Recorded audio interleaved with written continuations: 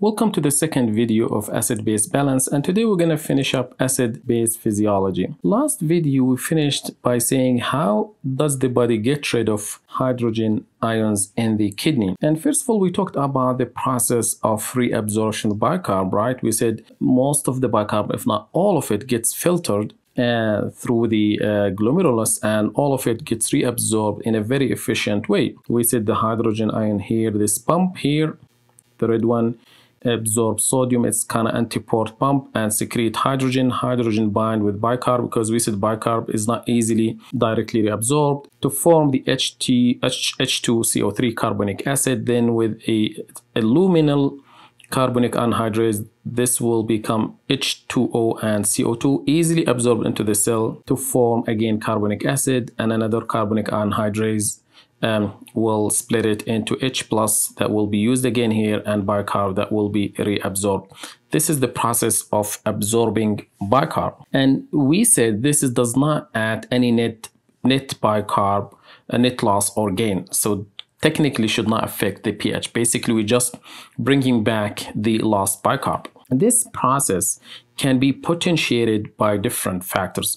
One of them is ECF depletion or volume depletion. Especially here we're talking about vomiting. So that, that means volume depletion can potentiate metabolic alkalosis and it makes it hard to treat metabolic alkalosis if you cannot replace this volume. Second of all, increase partial pressure of CO2. It makes sense. As a compensatory mechanism, it will potentiate this issue.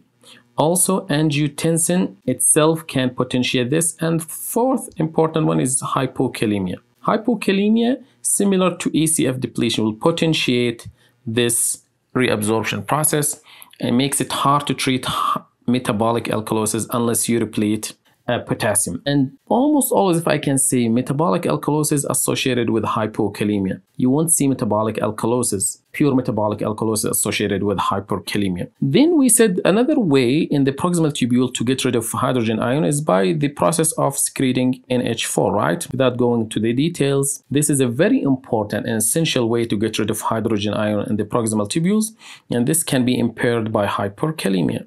Remember that. That's one of the factors that make hyperkalemia associated with acidosis. And then the other way we said, on the distal and convoluted convoluted tubule, we have this pump that secretes, actively pump hydrogen ion outside, and this can be potentiated by aldosterone. Now, the other things to know is any spill, any extra spillage of bicarb. Bicarb is negative, it's an anion, right?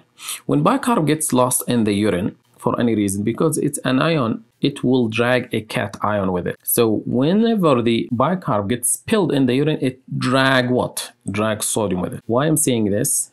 That makes sodium unreliable sometimes. Urine sodium is unreliable sometimes in work up in metabolic alkalosis because that's when we spill bicarb in the urine is when we have metabolic alkalosis the body try to spill that bicarb. Or for any reason you're spilling bicarb let's say this process of absorption is not efficient. There is a problem with it. So you spill more bicarb you're not absorbing the whole bicarb.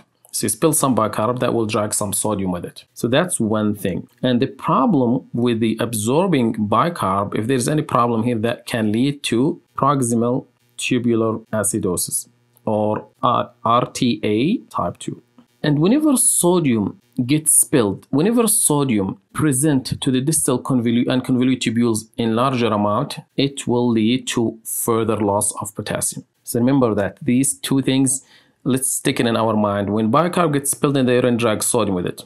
When extra sodium, when more sodium or more sodium present to the distal and convolute tubule, it potentiates the loss of potassium because it gets reabsorbed and potassium gets secreted. So you can simply now, you don't have to memorize that here in the RTA type 2, the proximal tubule type uh, RTA type 2, that will lead to hypokalemia, right? Or associated with hypokalemia. So any problem with the pump here can lead to distal tubule RTA or we call RTA type 1. So basically RTA type 1 is failure to secrete hydrogen ion through this pump in the distal and convoluted tubules.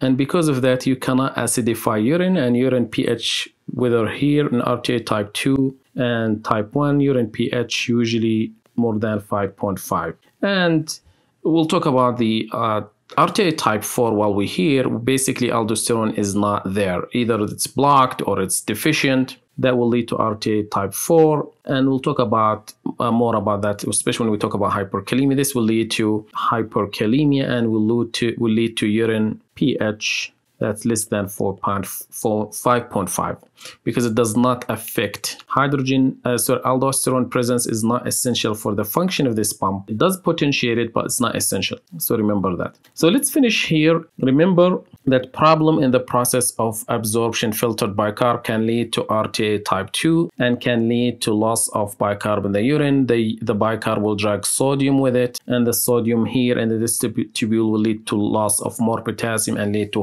hypokalemia. So presence of more sodium in the distal tubules will lead to loss of more potassium. And remember, hyperkalemia can impair uh, the ammonium formation and loss of hydrogen ion. And remember these factors, volume depletion, hypercarbia, hypokalemia, and angiotensin all can potentiate bicarb absorption process. Remember the last thing we end up with, we end with, uh, with here is because of this factor of the loss of urine, sodium in the urine in cases of spillage of uh, in the urine, that makes urine sodium is unlikely to help. And in workup and urine chloride usually the one we need to look into and we'll come to that in more details next video we'll start talking more about practical points and clinical points and abgs see you then